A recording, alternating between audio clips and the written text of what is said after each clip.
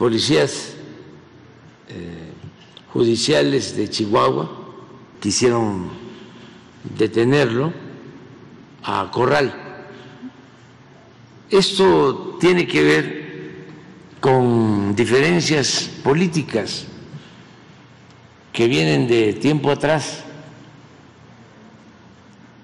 La actual gobernadora se alió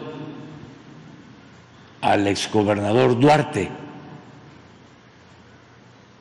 aunque son de partidos distintos, están aliados en contra de Corral, porque Corral fue el que promovió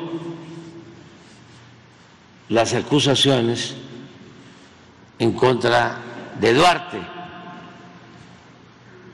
que tuvo que irse a Estados Unidos, allá fue detenido, extraditado.